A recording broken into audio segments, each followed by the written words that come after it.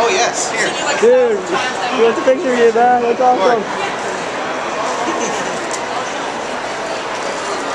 I need my mask out of there first. Not really. I just